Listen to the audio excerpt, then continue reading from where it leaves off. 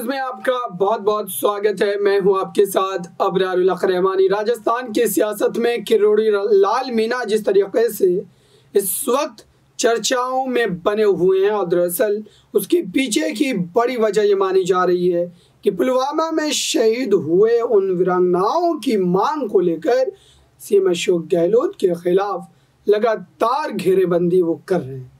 देखिए किरोड़ी लाल मीना एक ऐसे व्यक्ति के तौर पर जाने जाते हैं, जिन्होंने अपनी अभी तक की ज़िंदगी में बहुत सारे धरना प्रदर्शन किए हैं और इस वजह से ही माना जाता है कि वो जनता की हर मांग को लेकर यहाँ पर जो है अपने कदम उठाते हुए नज़र आते हैं। लेकिन अब समझते हैं अशोक गहलोत के पक्ष की बात। क्या मुख्यमंत्री होने के नाते उनके खिलाफ जो इस समय किरोड़ी लाल मीना लगातार धरना प्रदर्शन कर रहे हैं।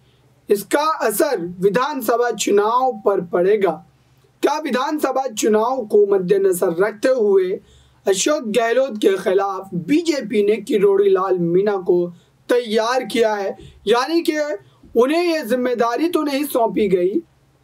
क्या अशोक गहलोत को नीचा दिखाया जाए? उनकी इस सरकार को कहीं ना कहीं इस तरीके से पेश किया जाए कि इन्होंने कोई भी काम जनता के हित में नहीं किया। क्या एक बड़ी रणनीति है?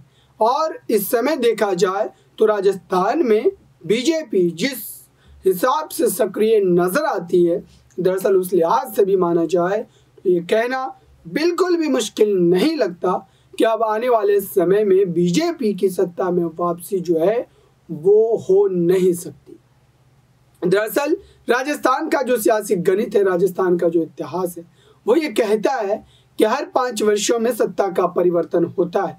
और इस बार बीजेपी की बारी है तो क्या बीजेपी बाजी भी मार जाएगी? और उसमें एक बड़े सहयोग की बात करें तो वो क्या किरोड़ी लाल मीना की ही होगी? इस खास रिपोर्ट में बस इतना ही। देखते रहिए ताज़ा तरीन खबरों के लिए नेक्स्ट नाइन न्यूज़ को। धन्यवाद।